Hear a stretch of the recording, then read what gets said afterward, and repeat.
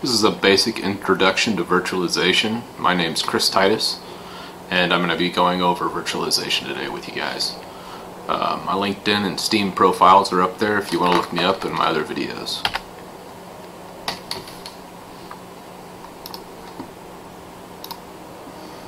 Basically I want to go over when you when you use it, when you don't, and the basic hypervisors that you're going to see in virtualization.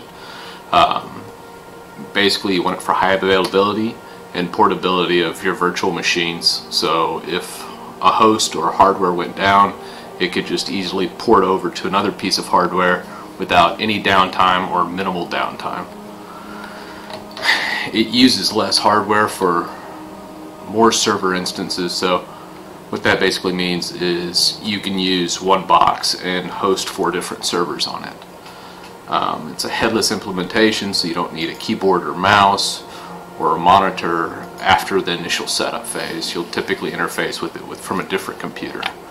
It's very common in server racks and non-workstation environments. You won't be using it if it's your main PC and you're doing gaming or whatever on it and it's just a workstation that you're going to be doing business or email, whatever. Uh, there's a couple exceptions there. There's a software called Unraid that people have used to create like double workstations out of one box.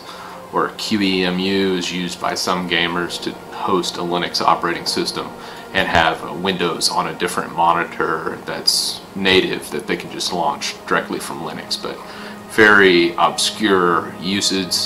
So typically you won't be doing virtualization unless you have a dedicated machine for it um, weak hardware that doesn't support it, uh, you don't run into this anymore. Almost everything's 64-bit and supports all full vir virtualization. Um, specific hardware needs, so you run into this like uh, uh, had a client that had AutoCAD, their architect firm, and they needed to do hardware keys for their CAD software. Each the software was about you know five to ten thousand dollars a pop and you can't virtualize that or, or it's very difficult to do it because you have to do a pass-through to it.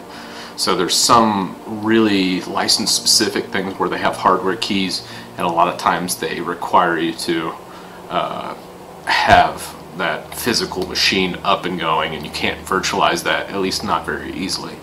Um, I've also done GPU mining and a lot of times uh, you, know, you can't really virtualize those because I've had one machine with up to 12 cards on it and it's doing that many pass-throughs it's just not very uh, feasible.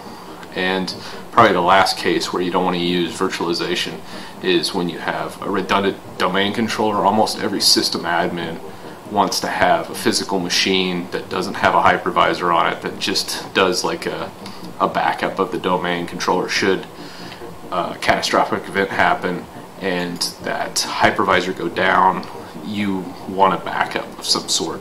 So having an independent physical uh, domain controller, uh, some system admins still still love that. Uh, personally, I think if you have redundant hosts and a redundant setup, it, it doesn't matter, but you know, you'll still see it on occasion.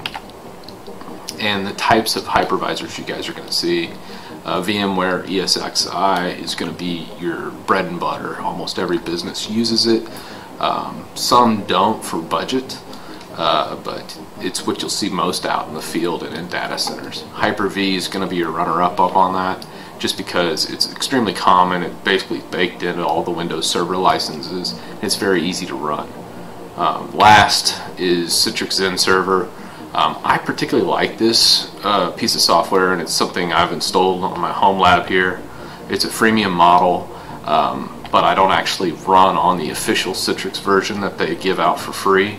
Um, there's a community driven one that basically gives you all the features that they've locked behind paywalls. So you guys aren't going to have to spend ten, twenty thousand dollars a year to unlock GPU pass through and some other really awesome features that are on there. Um, this open source project is called XCP-ng, and it has all the features of uh, the pay pay model that Citrix offers and this is basically what it looks like um, to basically break down um, you'd have the hypervisor here. They also have a web-based version called Xen Orchestra, but I have this. It's called XenCenter from the Citrix offering. They had to rename it obviously for uh, brand purposes and copyright issues, but it's the exact same. Looks identical to the actual XenServer that you see in the commercial offering. Um, you have your host here and your VMs lined up here and then your basic storage arrays. And I'll go through this in another video. I just kind of want to give you guys a breakdown of what virtualization is, when you need it, uh, and some of the big benefits um, for using it. And that's mainly hardware and, um, you know, being able to host a ton of operating systems just off one piece, one box. So I can, I'm, I'll spin up another server. You can create a new VM, put it all on there, and then see it all in a glance from here. You got console. Let's see here. Got the console. How much memory you can you can allocate and change this dynamically. It does require shutting down the VM though. Um, assign storage to it in a typical commercial setup. You will won't won't be using local storage. You'll actually probably using the SAN.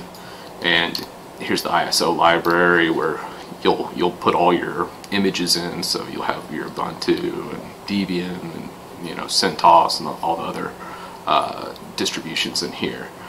Um, but I'll, I'll walk through this in another video. Uh, but this is just kind of a basic breakdown of virtualization and how to use it and whatnot will come in following videos. Thank you.